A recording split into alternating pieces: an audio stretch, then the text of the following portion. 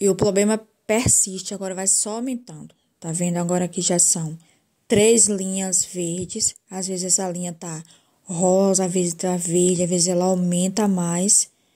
Aqui, ó, eu tô falando do Ed 30, um aparelho caro e depois de um ano ele começa a apresentar esses problemas aqui, ó. Essa linha verde na tela, que é um problema de hardware, precisa trocar essa tela e é extremamente caro. Não, não há nenhuma condição da gente que compra trocar. Pelo menos para mim, não consigo trocar essa tela. Aí, se você vê um vídeo postado, o vídeo tem mais de mil, tem menos de mil visualizações e mais de 100 comentários de pessoas que estão com o mesmo problema. Realmente aí é um problema de vício do celular, aparentemente.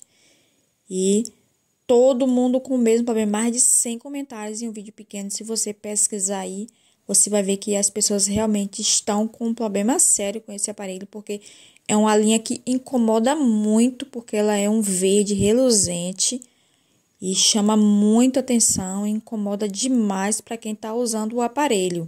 E além dela muda a cor, aumenta a espessura, diminui, só não faz sair da tela. Sai um pouco as três, depois aparece uma só e o problema continua aqui.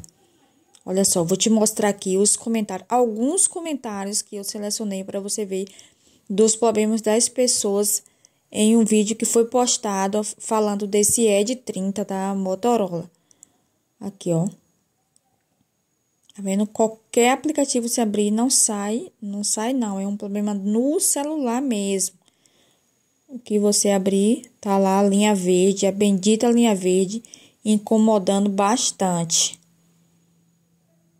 Tá vendo?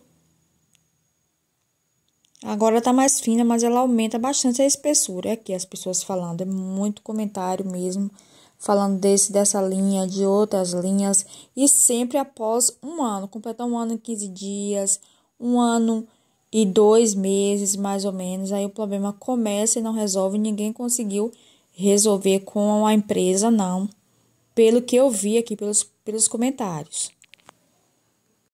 E esse aparelho não sofreu nenhuma queda, nem nada. Você tá vendo que a tela tá intacta. Então, é realmente um problema do aparelho, da fabricação, sei lá de que.